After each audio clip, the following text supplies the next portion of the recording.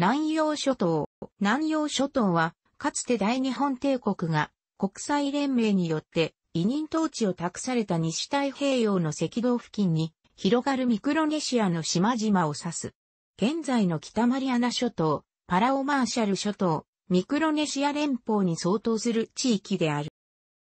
別名は南洋群島。当時の日本人は内南洋とも言った。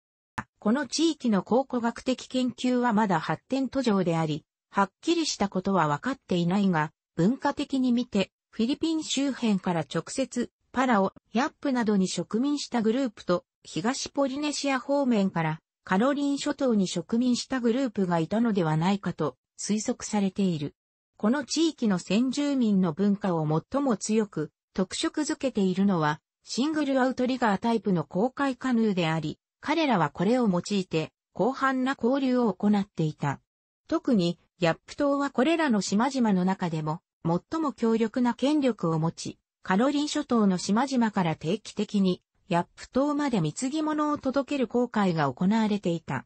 ヤップ島の州長の権力は、現在も強く、カロリン諸島の島々に対しても、一定の権威を保持している。17世紀諸島よりスペインはこの地一帯を植民地化し、フィリピンと共にスペイン領東、インドを形成していた。同地のマリアナ諸島やカロリン諸島という地名は、それぞれマリアナ王妃やカルロス二世国王に由来する。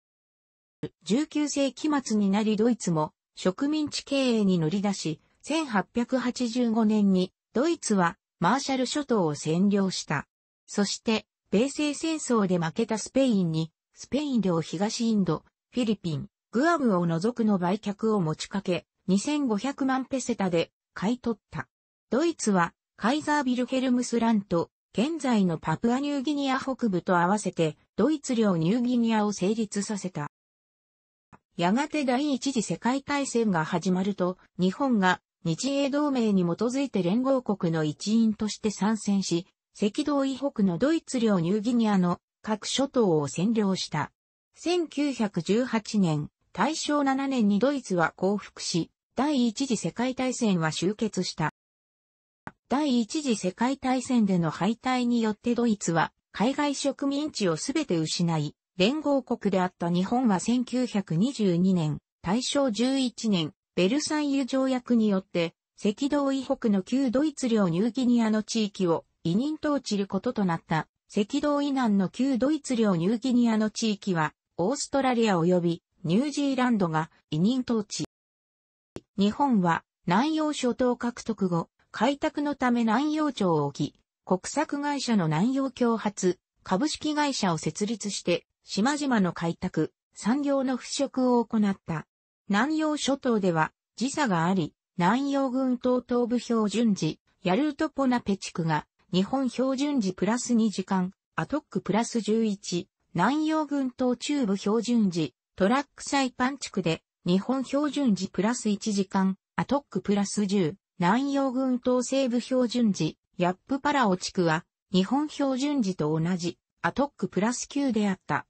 1937年、昭和12年、南洋群島東部標準時、トラックポナペアルート地区。日本標準時プラス1時間と、南洋群島西部標準時、パラオヤップサイパン地区。日本標準時と同じの二つに再編した。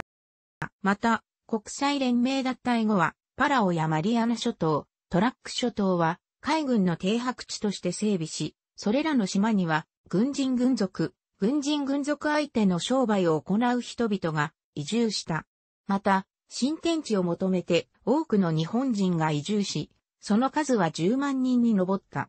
日本人の子供たちのために学校が開かれ、現地人の子供にも日本語による初等教育を行った。1941年、昭和16年にはパラオ放送局が開局し、ラジオ放送が開始された。第二次世界大戦、大東亜戦争、太平洋戦争においては、南洋諸島も戦場となり、日本軍とアメリカ海兵隊の間で熾烈な戦闘となり、多くの戦死者を出した。一連の戦いの講師となったのは、1944年、昭和19年2月に行われた、クエゼリンの戦いからで一週間の戦闘の末道島の守備隊は玉砕した。さらに同月には米軍によるトラック島空襲も行われ、トラック干渉にあった日本海軍の拠点が無力化された。1944年、昭和19年6月、戦略上最重要拠点の一つであったマリアナ諸島に対して米軍は侵攻を開始した。サイパン島での戦闘は生産を極め、在住日本人1万人及び、島民700人が戦死、または自決た。7月にはテニアンの戦いが行われ、テニアンでも多数の民間人が犠牲になった。その後、サイパン及びテニアンは日本本土を空襲する拠点となり、特にテニアン島は原子爆弾を搭載した爆撃機の発進基地となった。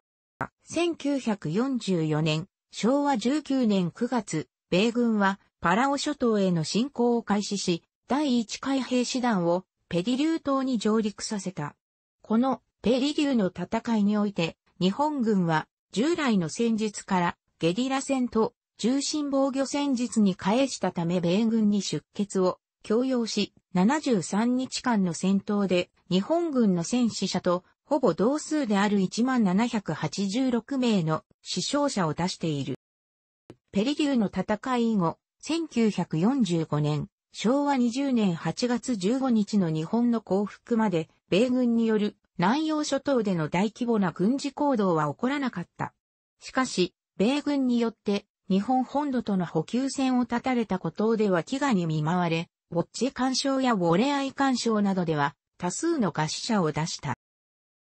第二次世界大戦終結後、国際連合は旧委任統治領、南洋諸島をアメリカ合衆国を施政権者とする信託統治に付することになった。当初は太平洋諸島信託統治領全域を一つの連邦国家として独立させる計画であっ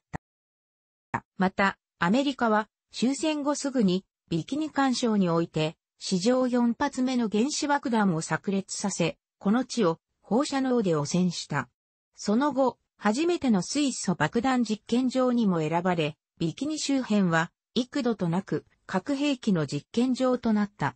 実験に際して多くの住民が他の島々へ強制移住させられた。1980年代から各地で独立運動が起こり、対米交渉や住民投票を経て軍事を除く自治権を獲得した。そして自由連合の名のもとにパラオマーシャル諸島、ミクロネシア連邦が1994年までに独した。ただし、北マリアナ諸島は独立せず、アメリカとの交渉の結果、コモンウェルス規約を締結し、現在に至るまでアメリカのコモンウェルスとなっている。なお、先の核実験の影響から、これらの国では核に対するアレルギーが原爆の攻撃を直接受けた日本と同等、またはそれ以上とも言われており、南洋諸島では比較条約ラトロンガ条約が結ばれいる。南洋諸島を6つの地域に分け、そこに市長を設けた、この地域区分は、戦後の太平洋諸島信託統治領の地区、ディストリクトにも概ね踏襲されている。日本人が多く住む地区については、部落が設けられた。部落の責任者として、総大、副総大を置き、諮問機関として、部落協議会が設けられた。部落が設置されていたところは、下記の通りである。1939年時点。一方、日本人の部落とは別に、島民による村里がいた。チャモロ人については、区長と助役が、カナカ人には、総村長と村長が置かれた。チャモロ人とカナカ人の村里が別になっているのは、州長制度の有無によるもので、州長制度がない、チャモロ人については、住民の推薦により、カナカ人の場合は、大州長を総村長、その他の州長を村長に任命した。南洋諸島の裁判制度は2申請が取られていた。第一審裁判所は地方法院といい、パラオ、サイパン、ポナペに置かれ、第二審裁判所の高等法院はパラオに置かれていた。また市長長には軽微な刑事事件の即決権が与えられていた。南洋軍島裁判事務取扱令により、南洋諸島には、刑法、民法等の日本の処方令を適用していたが、一部の事項については特例を設けていた。もともと住んでいた島民が純木であったこと、また、南洋軍東在留者取締規則により、不良日本人、外国人の居住を禁止していたことから、犯罪は少なかった。犯罪件数で一番多かったのが、南洋諸島特有の法令である、南洋軍島種類取締規則違反事件で、一時期は全犯罪の70%以上に達していた。それ以外の犯罪で一番多かったのが窃盗であった。凶悪犯罪もほとんどなく、1939年、昭和14年までに死刑判決を受けた犯罪者は一人もいなかったという。高等警察や特別高等警察の取締り対象となる犯罪もほとんどなかった。受刑者の絶対数が少なかったため、市長に付設された未決収容の留置場を刑務所代わりに使っていたが、サイパンに本格的な刑務所が完成し、これらの受刑者が移管された。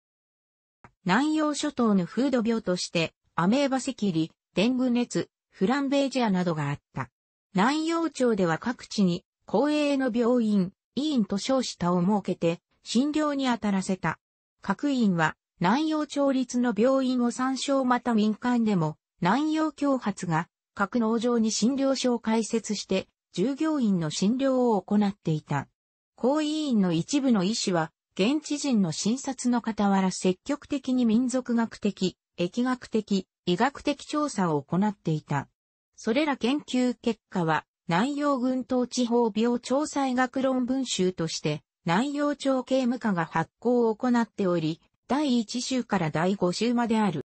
パラオ、トラック、ポナペ、ヤルート、ヤップの各委員に勤務していた、岡谷昇、長崎京さん、藤井保つ、鮫島宗夫らは、上記論文集の4集、民族生理学及び病理学的研究5集、人類学人種学的研究で、ミロネシア人の医学的、衛生学的、人類学的発表を行っている外、工学校教師の調査協力をもとに、日本民族衛生学会の雑誌、民族衛生などでもミクロネシア人の疫学的研究結果を発表している。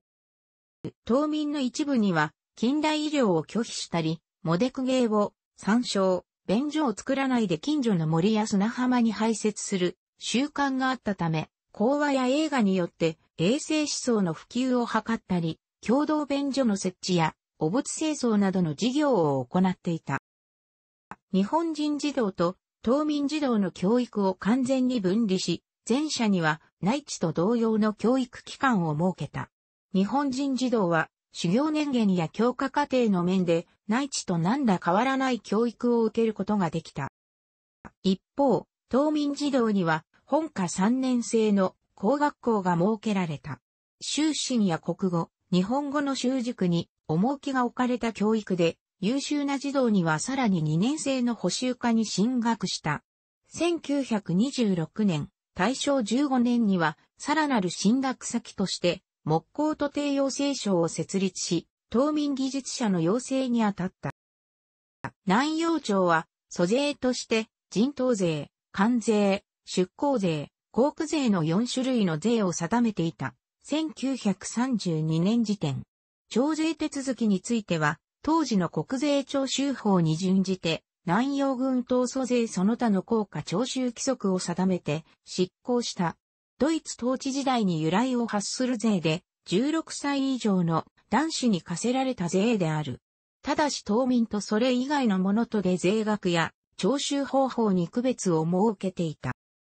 南洋諸島を一つの関税地域とし、南洋諸島外、内地も含むから輸入したり、南洋諸島外に輸出する物品に、価格、一部の物品については、重量に応じて付加した。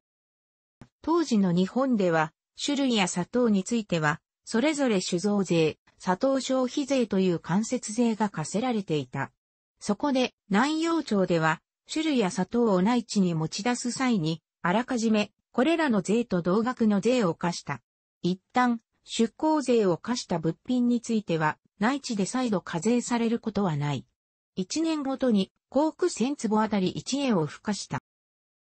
元来、島民は伝統的なアニミズム信仰を持っていたが、スペインによる植民地化に伴ってキリスト教が広く普及し、この頃には完全に定着していた。旧宗主国人であるスペイン人の聖職者がバチカンから派遣され、島民の教家に務めた。また、パラオでは、モデクゲーという土着の新宗教が誕生し、信者を増やしつつあった。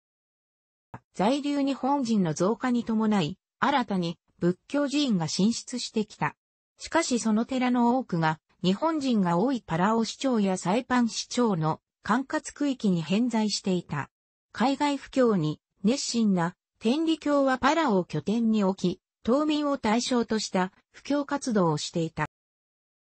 神社も在留日本人の増加に連動して各地に創建された。有志による創建のため、その多くが無格者であったが、1940年、昭和15年に南洋軍闘争鎮守として、官兵大社の南洋神社が創建された。スペインドイツ統治時代まで、特にこれといった産業は、ほとんどなかった。ところが、日本の統治になり、様々な産業の振興に努めた結果、南洋諸島はかつてない経済成長を遂げることに成功し、特に南洋共発が起こした製陶業は大成功を収め、これによって南洋町は財政的に自立できるようになった。大日本航空による航空路線も整備されつつあったが、一般的には回路が利用された。回路には大きく3種に分けることができる。明治時代、南洋諸島と南洋群島の定義と区別は必ずしも明確でなかった。ただ漠然と日本の南の海に浮かぶ島々という意味で使われており、その範囲もオセアニアやオースンダ列島を包括するかなり広大な地域の故障であった。1893年に鈴木慶君が表した南洋風物詩には南洋諸島と南洋群島の両方の用語が使われ、特に区別はしてなかった。大正時代になると、その定義に差異が生じ始めた。第一次世界大戦で日本海軍は独領ニューギニアの島嶼部、ミクロネシアを占領し、その地域を南洋群島と称した。一年後、吉野作造が表した現代総書南洋1915年間では赤道以北の独領南洋諸島を単に南洋群島というと定義し、南洋群島は独領南洋諸島のみを意味する用語という認識定着し始めた。その後、ベルサイユ条約で旧独領南洋諸島地域の委任統治が認められたとき、当局はこの地域を南洋群島と正式に命名し、市政に当たることになった。よって、日本の旧委任統治地域の正式故障については、南洋群島を漠然とした南の島々については、南洋諸島と区別するのが適当と言える。楽しくご覧になりましたら、購読と良いです。クリックしてください。